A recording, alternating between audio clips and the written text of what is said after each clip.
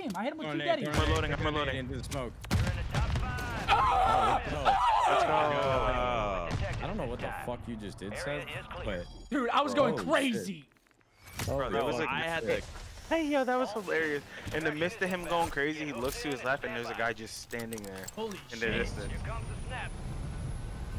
nice job, bro. I had the craziest like death screen to just like see behind Seth. Bro, we were going